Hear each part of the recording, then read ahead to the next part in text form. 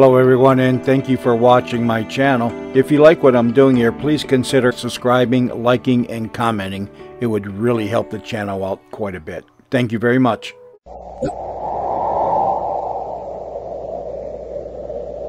Wheat Chex, Rice Chex, and good hot Ralston presents Space Patrol! High adventure in the wild, vast reaches of space. Missions of daring in the name of interplanetary justice. Travel into the future with Buzz Corey, Commander-in-Chief of the Space Patrol! In today's transcribed adventure, Buzz and Happy have been locked in a building by two criminals who have blocked their only means of escape by pouring sodium potassium alloy on the stairs. The liquid metal has burst into flame in contact with the air. Commander, the heat's terrible. We're going to face something worse than heat when the automatic fire extinguishing system starts to work. But, sir, the water will put the fire out and we can escape. Not with this alloy, Happy. It burns in air, but when water hits it, it explodes. What? The second that spray starts working, this whole building will be blown to bits. We'll be back in just a moment with today's Space Patrol story The Lady from Venus. Space Patroller Dick Tufeld, gang, speaking to you from an atomic power plant on Mars. They're having trouble getting power, but I think I've found the trouble. Now, listen to this main power generator. Sounds pretty weak, doesn't it? My guess is this. They've been using ordinary fuel. So let's see what happens when I put in this super fuel. Wow, listen to that power now. Supercharging does it. And gang, when you roll out of bed in the morning, you're just like this generator. You need fuel because you haven't had any for about 12 hours. But listen, don't settle for ordinary fuel. Get supercharged like Buzz Corey does with a good breakfast. Eat the super cereals in the checkerboard packages. Now, Rice Chex and Wheat Chex are the super cereals with that modern bite-sized design for super easy eating. Rice Chex is bite-sized shredded rice, triple toasted. And Wheat Chex, Wheat Chex is bite-sized shredded wheat, baked crisper than a cracker, super power in every bite. Now remember, pulling up to the breakfast table is like pulling into a filling station. So get supercharged every morning. Pick up your cereal bowl and say, Fill her up, Mom. Wheat Chex. Fill her up, Mom. Rice Chex.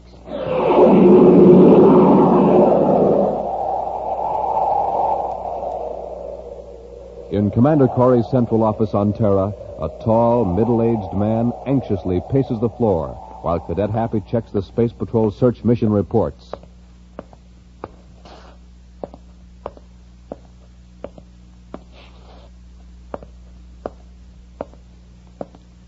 There are some magazines on the table, Mr. Stratton. Hmm?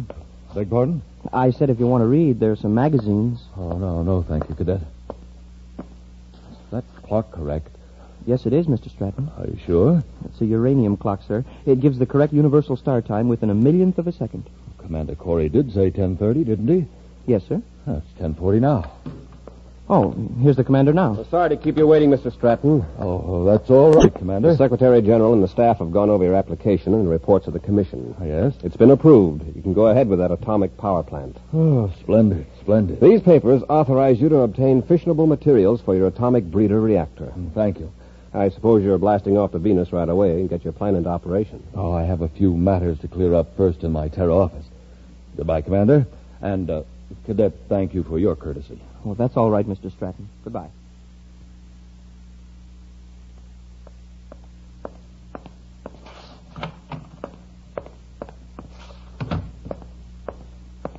Congratulations, Mr. Stratton. Oh?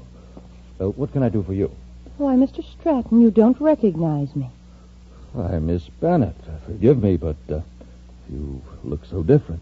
Don't tell me I've aged that much in five years. Oh, no, no, it's not that. It's a... I'm a blonde now instead of a brunette.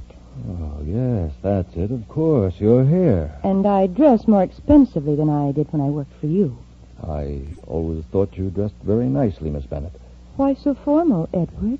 On Mars, you used to call me Elspeth, the lady from Venus. Uh, what are you doing now, Elspeth? Now, that's better. Well, right now I'm in the manufacturing business on my own. Well, we're competitors, eh? No, no, not entirely, Edward. In fact, I'm actually interested in becoming one of your customers. Uh, splendid. We parted on very unpleasant terms, as I recall. I'm glad you're willing to let bygones be bygones. Yes, and I was delighted to hear that the Secretary General gave you the go-ahead for your reactor on Venus. Why, I just came from Space Patrol headquarters myself. How did you know about it so soon? Oh, I know a lot of things about you, Edward. I was one of the people questioned by the Space Patrol security agents. Evidently, your replies were favorable. Thank you. How soon will your plant be in operation? Uh, It'll take three weeks to get into active production. Good, then I can count on you for a shipment of plutonium in less than a month. oh, I'm not joking, Edward. I'm ready to pay you a fair amount of credits for a small percentage of your plutonium output. You have a United Planets authorization to buy it, Oh, no. That's why I have to get it from you. But I can't sell it to you. I can sell you power, but not plutonium or other fissionable materials. It's illegal. Stratton, how long do you think you'd be permitted to operate that plant if I should go to Space Patrol with certain evidence? Evidence of those shady deals on Mars five years ago? You know I had nothing to do with those. You engineered them behind my back. Yes, but the evidence I have still points to you, not to me. I've been keeping it, Edward, for just such an opportunity as this. You know I've got to account for every ounce of plutonium. Surely you can find some way to get around the regulations. You want to keep that plant, don't you? That's blackmail, Elspeth. Blackmail? When I'm paying you for the plutonium? Well, that's unfair. I never thought you'd stoop to anything like this. You'll send the plutonium to the Elbin Company on Mars. There's a fake company I've organized to receive certain illegal materials. So you're operating on Mars? No, no, I just want to be sure the plutonium's hard to trace. For your protection as well as mine. I'm still the lady from Venus. So I'll see you in a month. Remember, I'll be expecting my shipment in a month. Goodbye for now,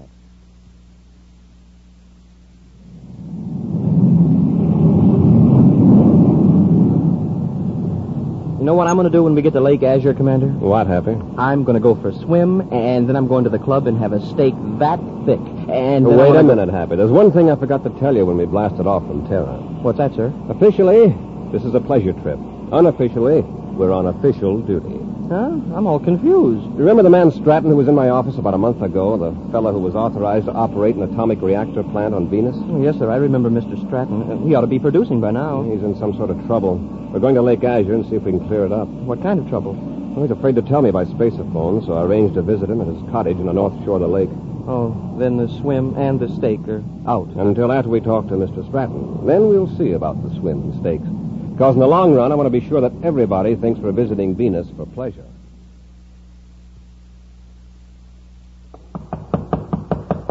Just a minute. Oh, oh Elspeth. Yes, Edward. I heard you were resting here at Lake Azure after getting the plant operation, so I thought I'd pay you a visit. I. Well, aren't you going to ask us in? Mr. Stratton, this is my assistant, Ivan Alman. How do you do? Hello. Shake hands with him, Edward, or Ivan will think you don't like him. He's very sensitive. Yeah. Shake, huh? Oh, easy, Ivan. Mr. Stratton will probably need his right hand to correct a little mistake he made. Oh, mistake? Yes. One of our representatives inside your plant informed us that you shipped a crate to the Elbin Company on Mars yesterday. Ah, that's right. I did. I, I followed your instructions. Yeah, except you didn't put plutonium in the crate. What a waste of time and money it would be for us to pick up that crate of worthless metal and haul it back to Venus. Oh, worthless metal. Yes. So I brought Ivan with me to persuade you to correct this oversight. You like me to work him over, Miss Bennett? Well, that's up to Mr. Stratton. Yes, I'll, I'll correct the oversight. Good. But the next time you make a mistake, Ivan will uh, work you over, as he calls it. And I'll turn my evidence over to the Space Patrol. It won't happen again. See if it doesn't. Come on, Ivan. All right, Miss Bennett.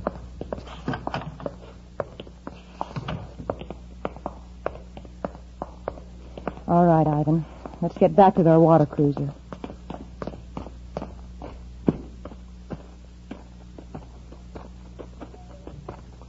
Miss Bennett, look.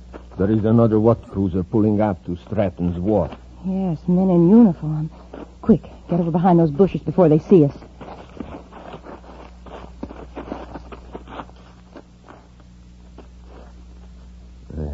From here, they look like space patrol men. It's exactly what they are. It's lucky we beached our cruiser down at the cove.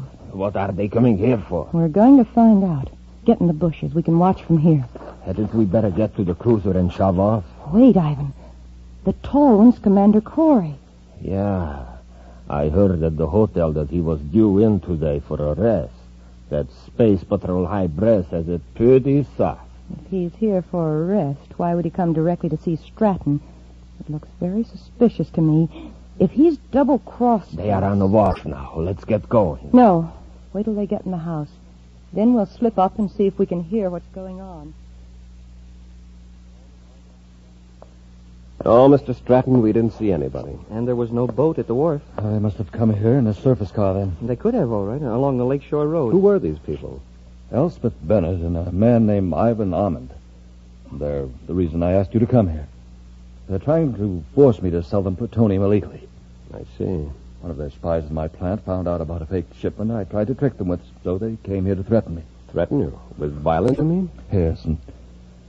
Well, Commander, I- I'm going to tell you the whole story.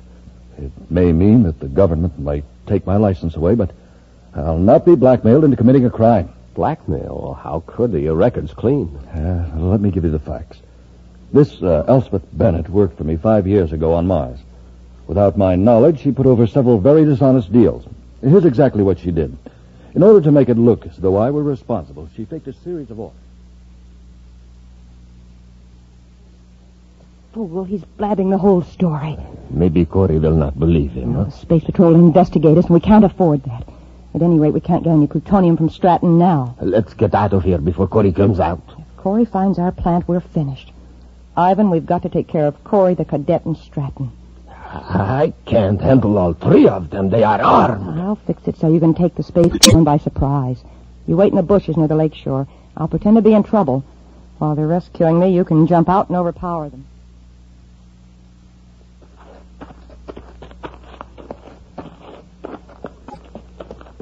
You know, Commander, somehow I think Mr. Stratton was telling the truth about being framed. Well, so do I, Happy.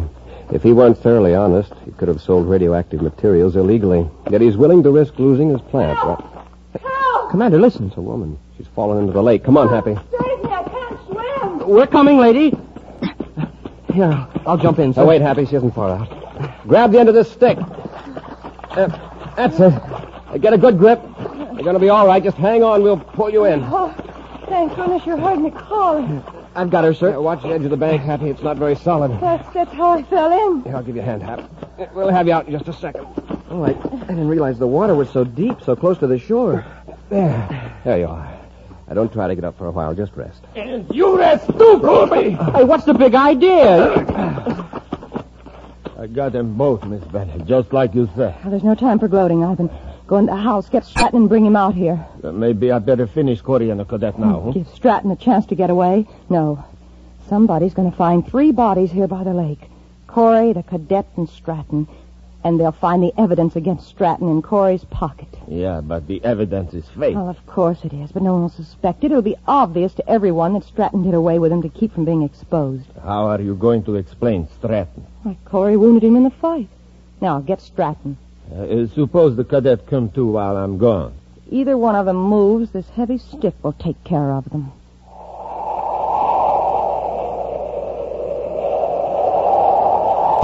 We'll be back with Space Patrol in just a moment. Say, gang, what do you need for a good, good morning and a good, good start? A nourishing breakfast with Rice Chex or Wheat Chex. That's what. The super cereals that help to supercharge you. Oh, here's a chance to show you exactly what I mean. Some of the fellows here in the neighborhood are having a race. They're running right in this direction, and way out in front is Jim Bridwell, a boy that makes it a rule to eat a good breakfast with the super cereals. Listen, here they come.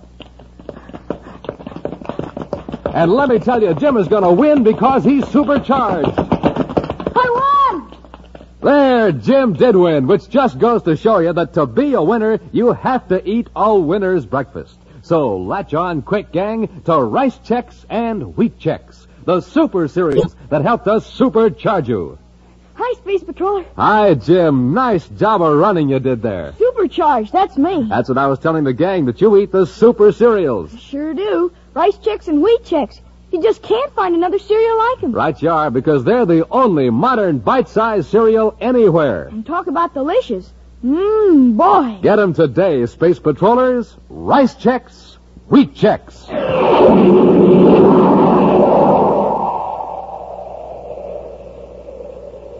Edward Stratton, operator of an atomic reactor plant on Venus, is being blackmailed by a former employee, Elspeth Bennett, into selling plutonium illegally. Buzz and Happy went to Lake Azure on Venus to get Stratton's report and were knocked unconscious by Elspeth's assistant, the burly Ivan Almond.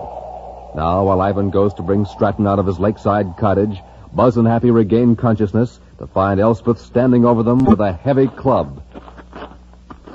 Don't get any ideas about rushing me. I've got you covered. Commander, look. She's holding the same stick we used to pull her out of the water. If you think I won't use it, just make a move to get up. Oh, Cadet, what are you looking so pop-eyed about? Look. Right over your head. There's a snake hanging from that tree limb. Oh, no, really. Don't try any childish tricks on me. He's right, Miss Bennett. It's a poisonous snake. Oh, who do you think you're fooling? We're not fooling. You fooling. better move, Miss Bennett. And you'd better not, Commander. It's ready to strike. And so am I. Look out, Commander. I warned you, Commander. Let go of that stick. I was hoping Let you'd swing go. at me. Now, give me that club. I don't want to hurt you. There.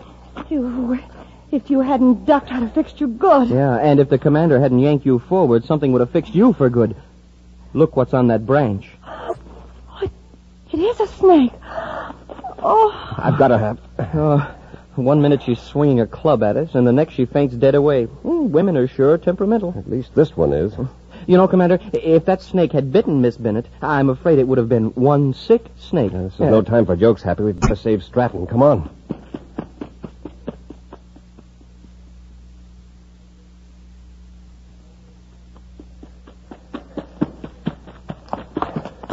I hope we're in time. Commander. Stratton, are you all right? Yes, I, I'm all right. Where's Ivan? Oh, he saw you coming, hit me, and then ran out the back door. Stratton, Miss Bennett is out by the lake. Watch her till we get back. Come on, Happy. Let's see if we can pick up Ivan's trail.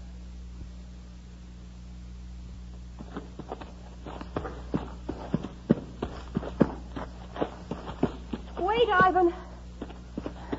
Miss Ben, I thought they captured you. I saw Corey and the cadet run toward the cottage. No. Corey struck me and thought I was unconscious. Ivan, did you finish Stratton? No, I didn't have a chance. Corey and the cadet arrived too soon. Miss Bennett, we'd better get in the boat and shove off. Corey may have trailed me through the brush. All right, let's get across the lake to our spaceship. Help me into the boat.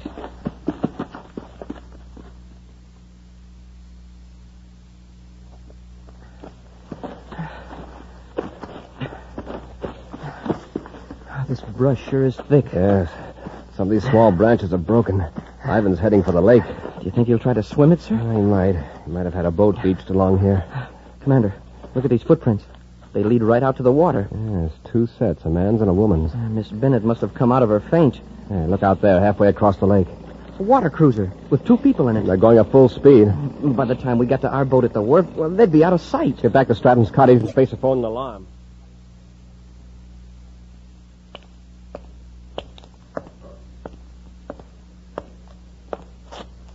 I'm sorry that Bennett woman got away.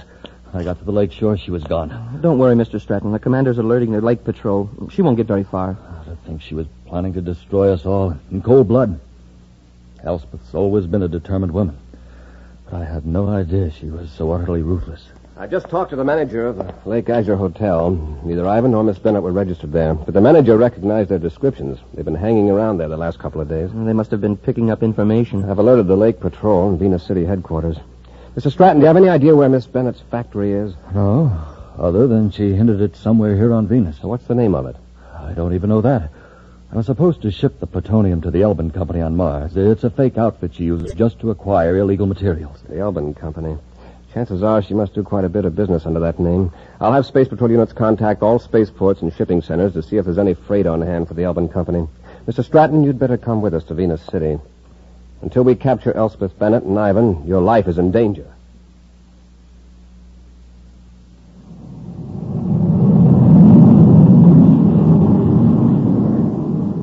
Miss Bennett, the plants are in the other direction. You are way off vector. We're not going to the plant right now. We're going to Venus City to pick up some freight. What for? There's an electromagnetic pump waiting to be picked up, and it's got the Elbin Company name on it. Sooner or later, Corey's going to trace us through the Elbin Company. But, Miss Bennett, we can't get a magnetic pump in this ship. It's too small. We'll hire a surface truck from the warehouse and drive to the plant. There's another ship there. We'll pick up some documents I need and then blast off for Jupiter. Corey'll never find us there.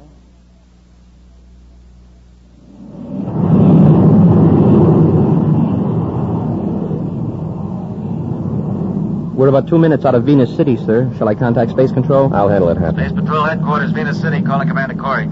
Corey here, go ahead. Uh, Commander, we've already got a development on that Elbin Company checkup. Good, let's have it. Warehouse number three has had a large piece of machinery on hand assigned to the Elbin Company. An electromagnetic pump was picked up just a few minutes ago. Does anybody at the warehouse know where the Elbin Company is located? Uh, not exactly, but from other dealings, they think it's southeast of Venus City, out toward the Topaz River. A man and a woman rented a big Atomo surface truck from the warehouse. Get the Atomo truck registration number. Alert all highway patrol units to watch for it, and not to stop it, just report its location and direction. Yes, Commander. Hurry out. Well, we won't land at Venus City, Happy. We'll cruise around till we get a report on that truck.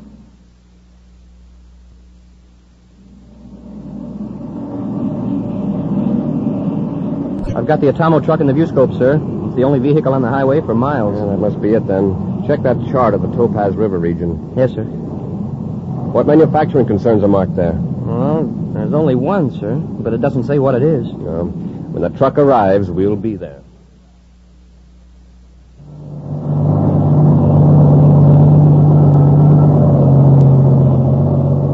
You know, Miss Bennett, I've got to admit I didn't think much of this plan at first.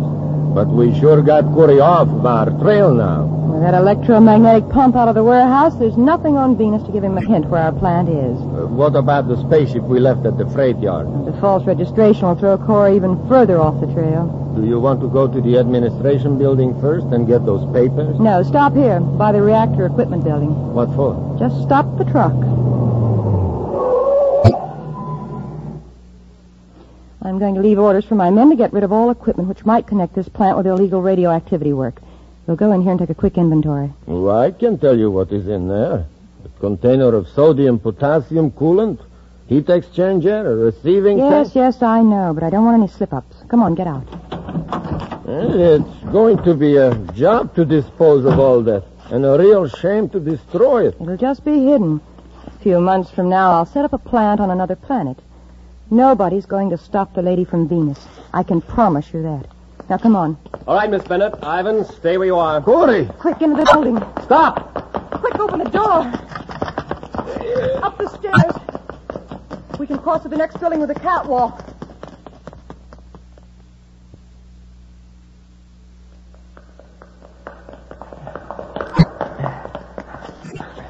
There they go, sir. Up the stairs. Come on, let's get him. Ivan, open the door of the catwalk. It's stuck. They're coming up the steps. Stop. You're cornered. Better come down. Oh, Ivan, those big containers. Roll them down the stairs. Okay! Better get off the stairs! Watch it, Commander. Duck, Captain!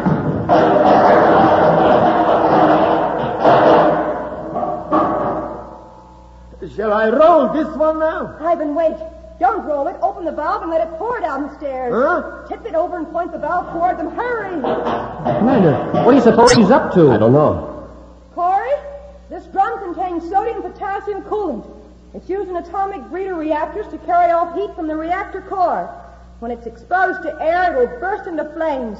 Turn the valve, Ivan. There it goes! Stand back, Happy. Now let's see you come up those stairs. Commander, the heat, it's awful. All right, Ivan, get that door open. Yes, Miss Bennett. Happy, we can't get up through that flaming liquid, and they can't get down. We'll go outside. Sorry, Commander, you won't be leaving. She's closed the door. The electronic control switch is up here. Oh, it's no use, cadet. You can't open that door. I got this one open, Miss Bennett. We're leaving you now, Commander. Oh, by the way, there's an automatic fire extinguishing system in here. In a minute or two, water will be sprayed all over that sodium potassium alloy. And that's your life. Come on, Ivan, we haven't got much time. Hey, did you hear that, Commander? The sprinkling system will, will, will put the fire out. And if it works If the quickly... sprinkling system starts, we're finished. Huh? This coolant has to be kept in a closed, airtight system. It burns in there, but when water hits it, it explodes violently. All these containers will blow up. Commander, we've got to get out of here. Now look, there's an electronic hoist. A chain runs up to that pulley fastened to the beam. If that hoist will lift us high enough, we can swing over to the balcony and get out the way they did. Grab the hook, I'll throw the switch. Yes, sir. Get a good grip. I'll hold the chain and kick the switch with my foot. Hey, it's working, sir. We're going up. Start swinging. When we're level with the balcony, jump. Yes, sir. Hey, the sprinkling system. It started to work. Let's hope the water doesn't hit that coolant till we get out of here. Jump, Happy. Quickly, out the door across the catwalk.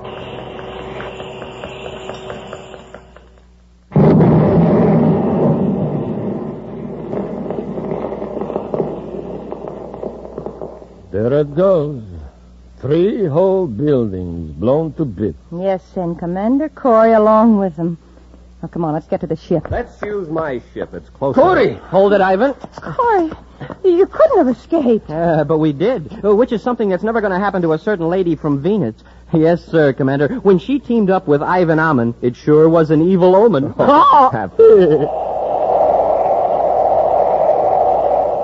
We'll be back with an action preview of next week's exciting Space Patrol story in just a moment.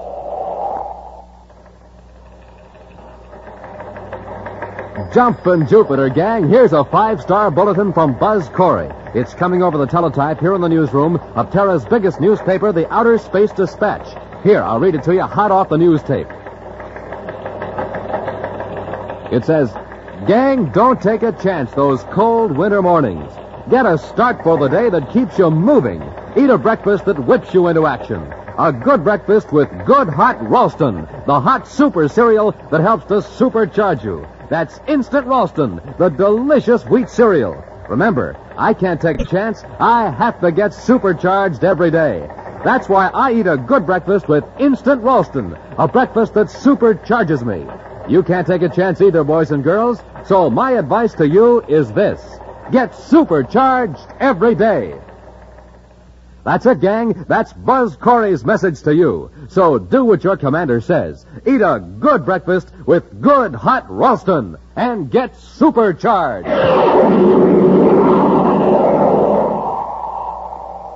And now, a preview of next week's exciting Space Patrol story. Buzz and Happy are in the lower shaft of a secret mine on Saturn's sixth moon. As they wade through the water of the partly flooded shaft, a strange sound filters down through the mine.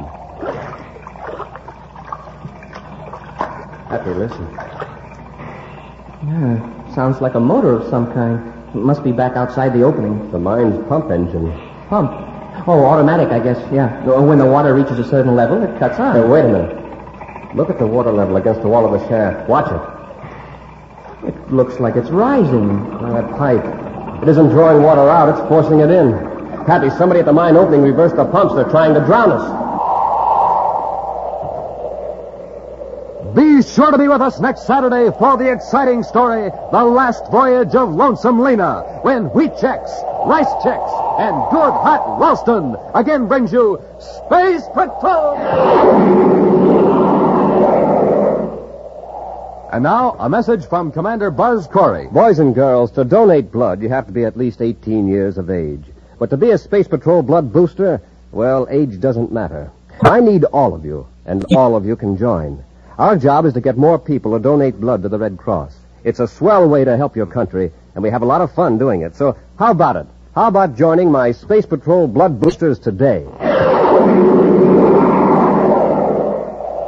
Space Patrol, an original Mike Moser production starring Ed Kemmer as Commander Corey and Lyn Osborn as Cadet Happy, was written by Lou Huston and directed by Larry Robertson. Other players were Bela Kovacs, Ken Mayer, Virginia Hewitt, and David Duval. Dick Tufeld speaking. Now, don't forget to tune in next Saturday and every Saturday when Wheat Chex, Rice Chex, and Good Hot Ralston again present the new exciting Space Patrol! And be sure to see another exciting Space Patrol story on your local ABC television station. Consult your local paper for time and channel. Space Patrol comes to you transcribed from Hollywood. This is ABC Radio Network.